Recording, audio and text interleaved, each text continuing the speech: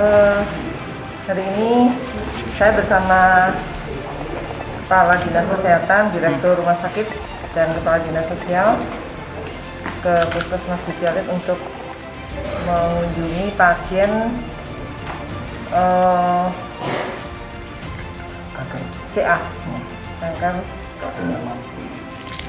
Insya Allah hari Rabu segera dirujuk ke Jember untuk dilakukan pemeriksaan lanjutan dan tindakan lanjutan sesuai dengan jenis penyakitnya.